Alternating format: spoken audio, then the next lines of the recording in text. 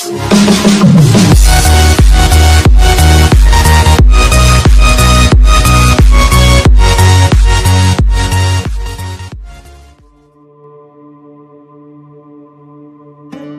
morning, Lord.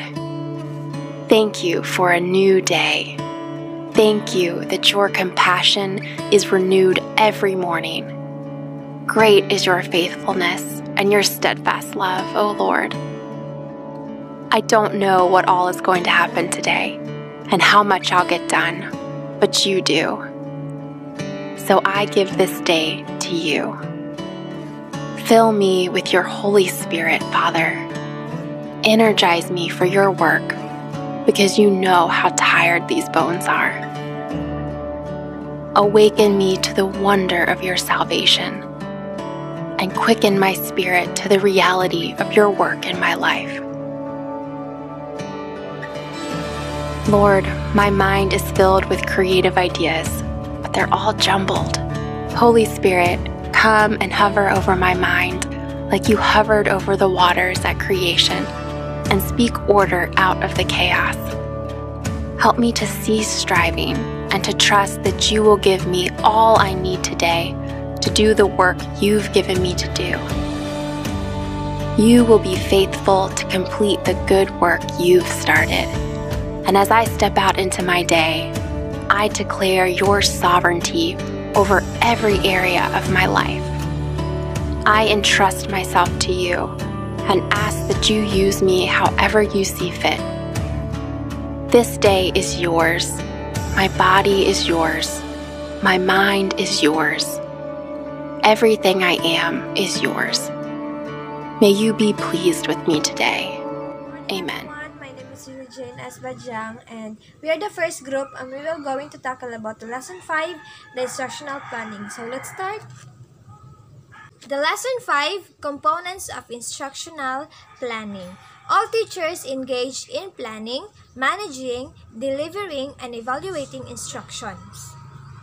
Planning instruction involves three steps. These are deciding what to teach, deciding how to teach, and communicating goals and expectations to the learners. And each of these steps includes specific tasks. And later I will explain that. So let's start with deciding how what I mean deciding what to teach. Number 1, assess the students' skills and knowledge. So in making decisions of what to teach, educators have to assess their students' skills level. So teachers should identify which skills students have and which skills they do not have. Teachers assess students using tests, observations, and interviews. And teachers use this kind of informal assessments along with the result of achievement tests to plan with their own instruction. Number two, analyze the instructional materials. So part of deciding what to teach is to analyze the instructional task because it is not enough of what students are able to do.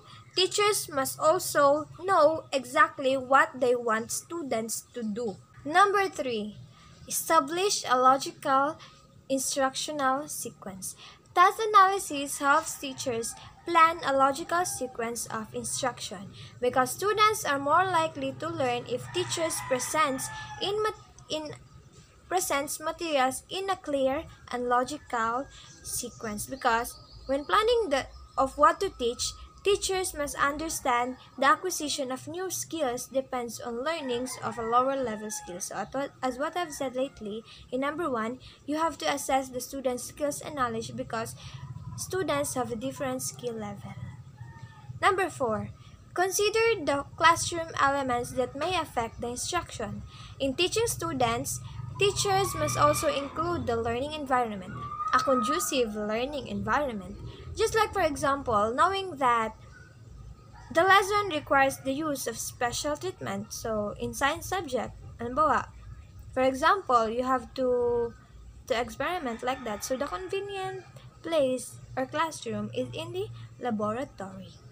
The last one, in deciding what to teach, number five, you have to identify the gaps between actual and expected performance. So, as a teacher, you must identify your expectation and expected performance of your students. And by recognizing the difference between actual performance and expected performance, teachers are able to keep the instructional goal and objective realistic, neither too low uh, nor too high.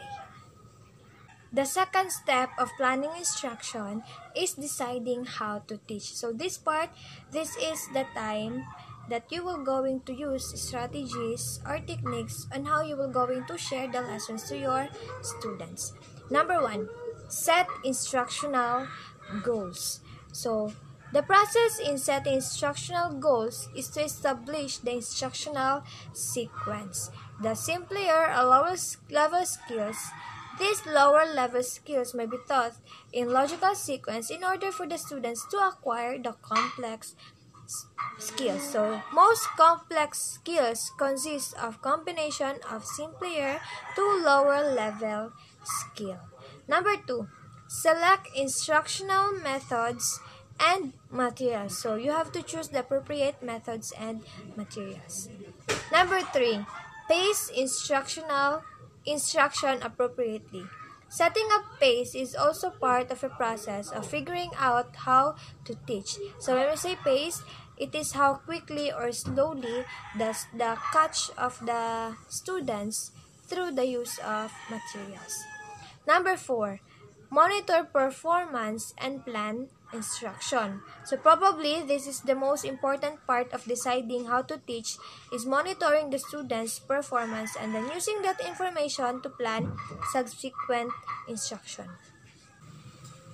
The next step in instructional planning is the communicating goals and expectations to the learner.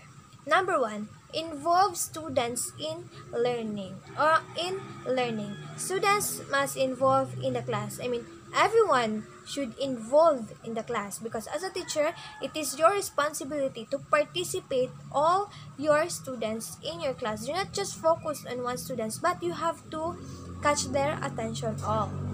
You have the power. Yes. Number two, state expectations. So, as a teacher, you need to state expectations whether it is a positive one or a negative because students have different opinions and observ- on observations to the lesson that you share to them.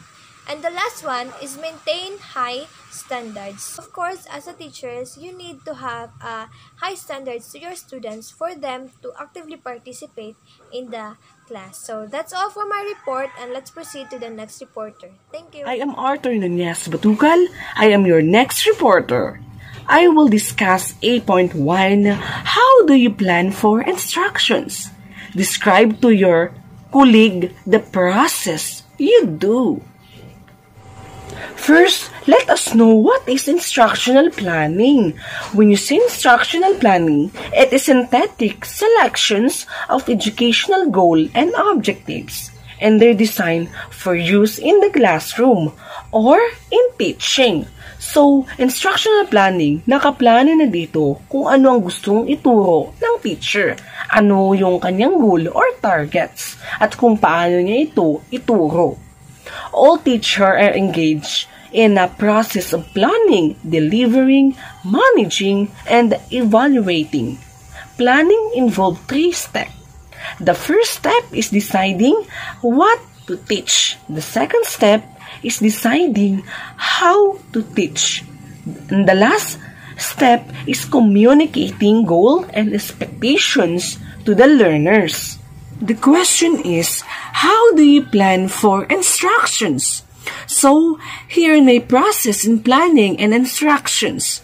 In deciding what to teach, there are variety of method to assist your students priority knowledge and skills. But for me, the first step I will do to assess my student skills and knowledge, but giving them a pretest because through pretest, we access or measure the skill and knowledge our students have or the capability they have.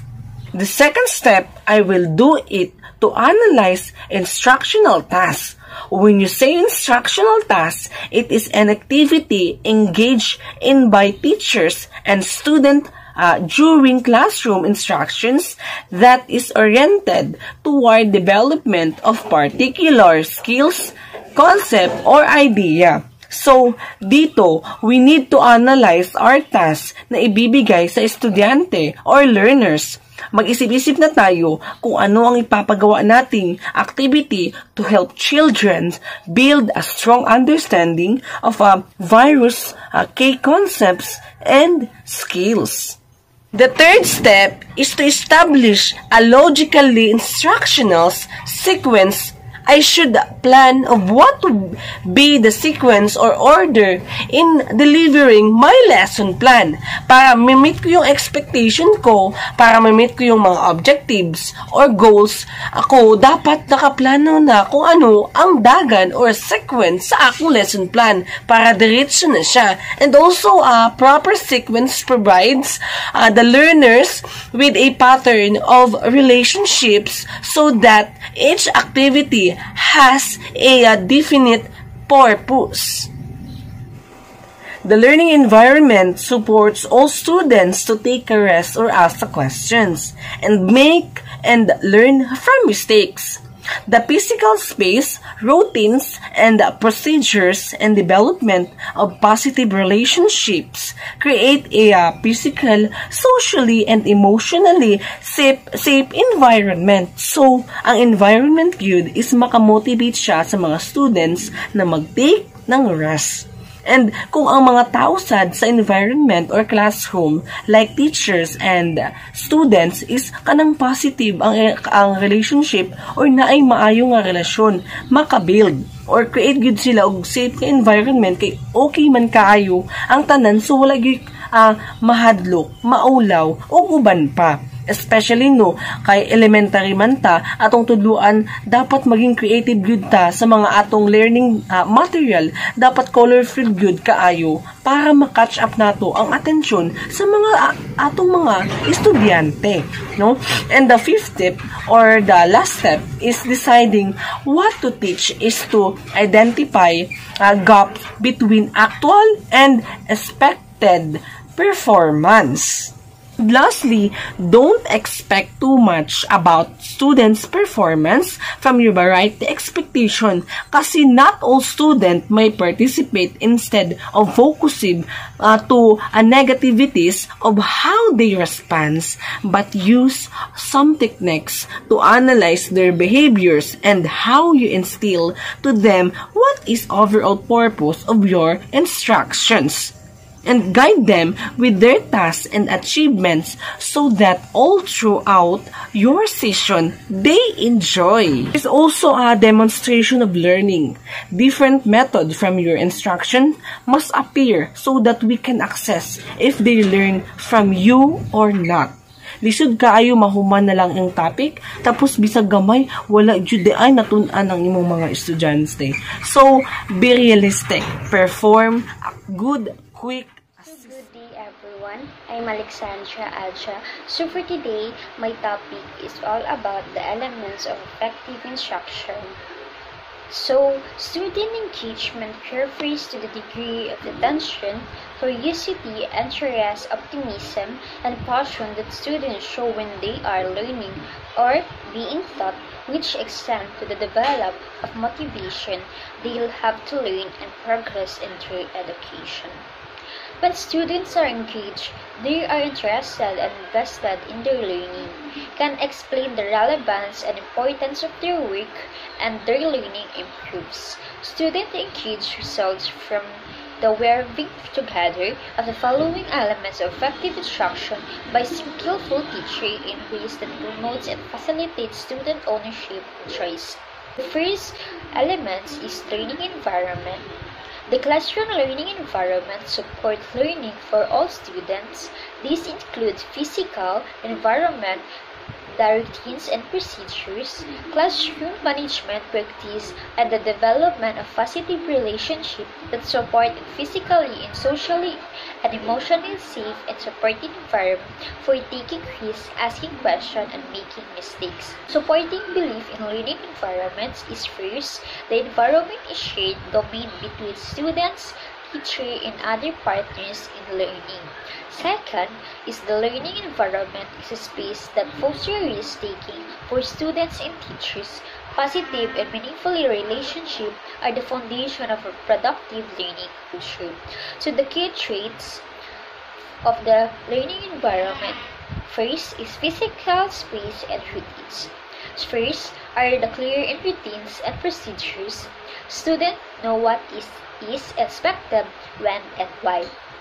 Second, tools and materials are readily accessible to students. And third, the classroom can be confirmed and configured in different ways to best fit the task at hand.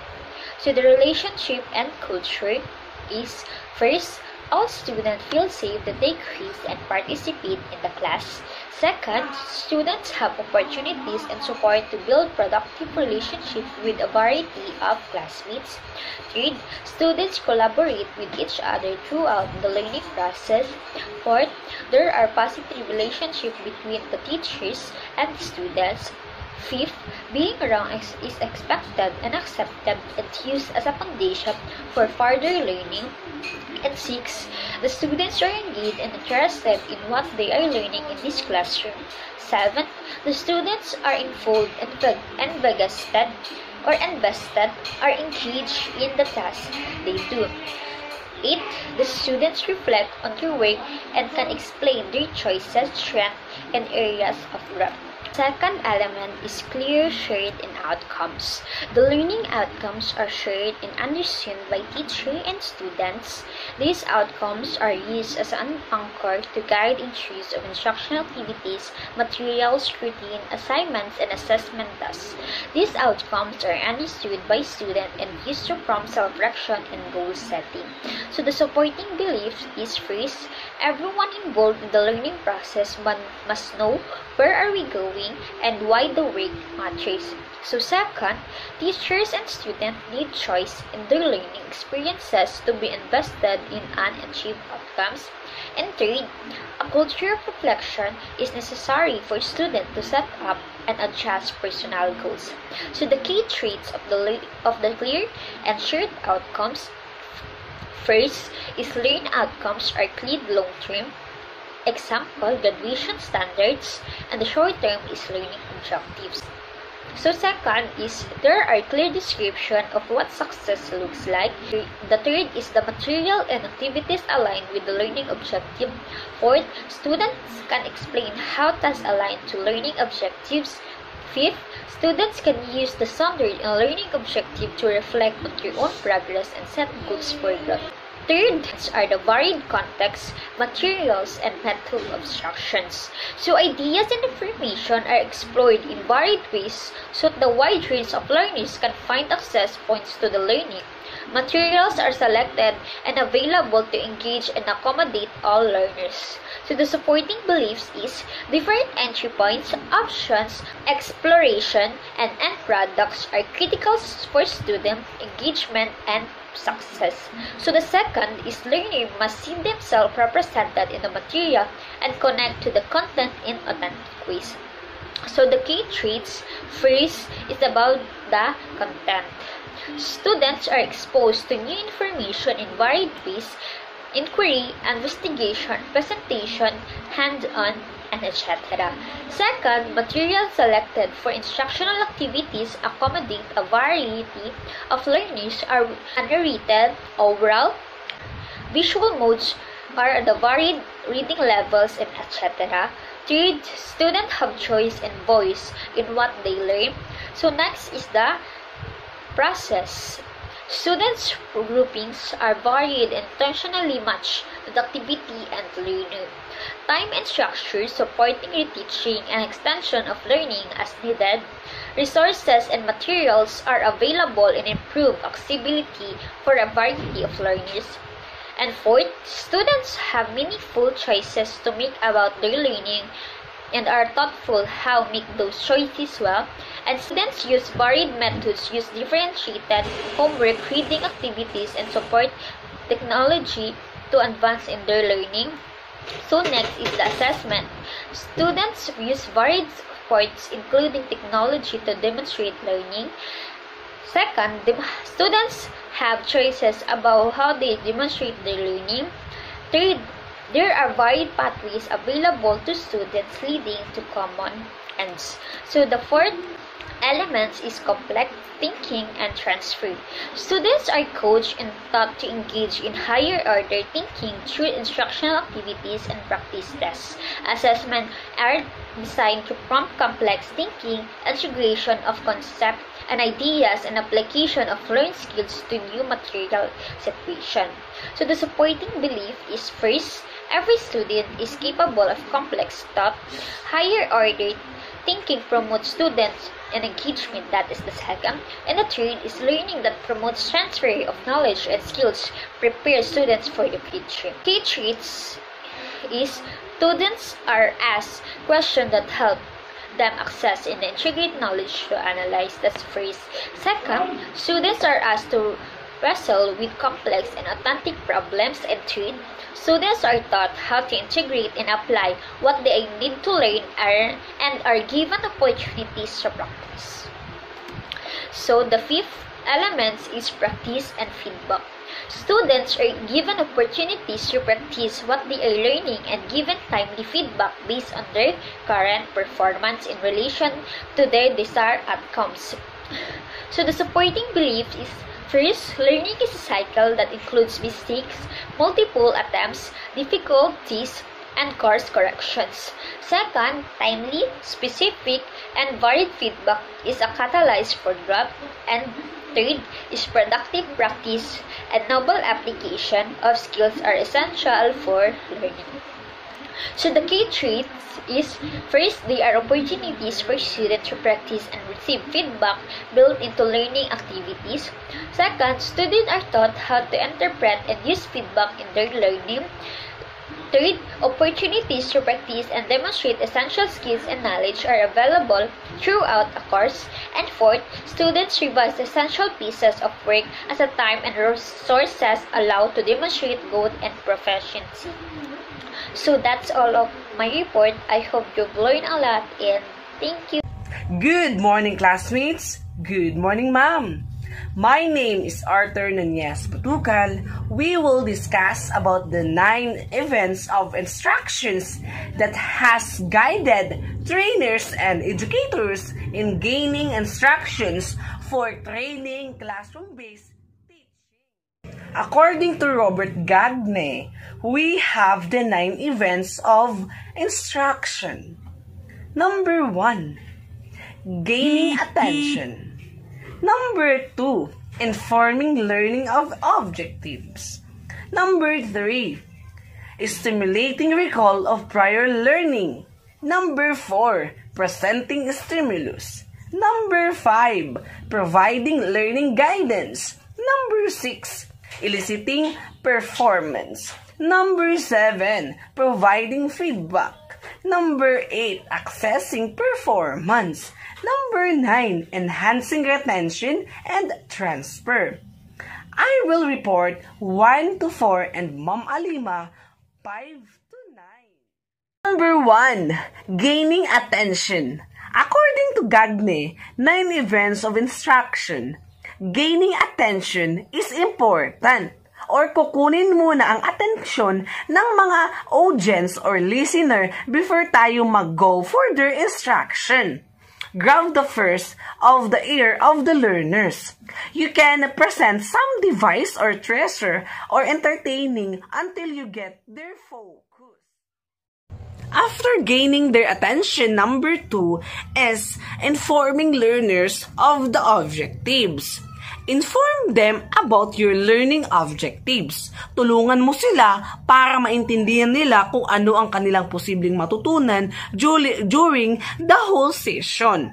Techniques for starting the objective is to describe kung ano ang kanilang kayang gawin at the competitions of the session. Number 3. Stimulate recall for prior knowledge you can begin to help the learners make sense of the new information. They can connect with their stemma by relating sa mga bagay na alam na nila or na-experience na nila. Para ma-accomplish nila ito, according to Robert Gagne, ay matutulungan natin sila to stimulate their prior. Lastly is presenting the stimulus.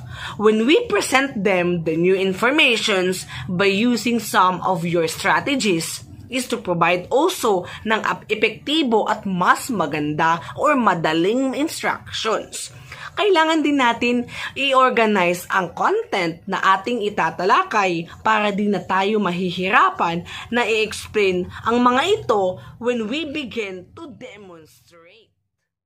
The next reporter is Ma'am May Alima. She discussed the 5 to 9 events of instructions.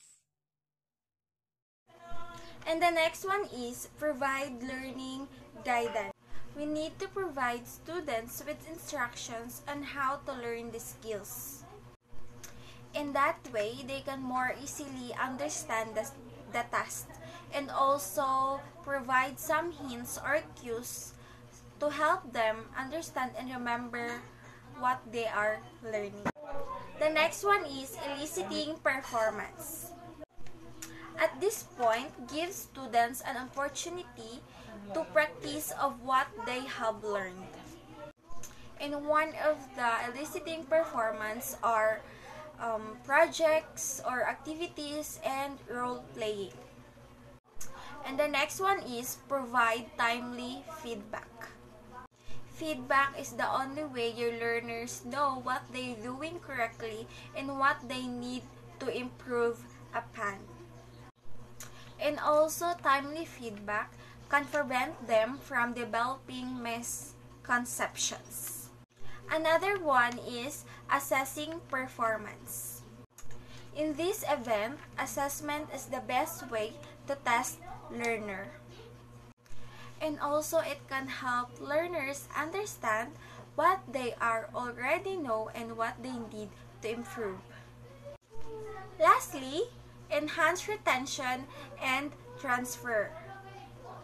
In this event, repeated practice with effective feedback is the best way to ensure that people retain information and use it effectively.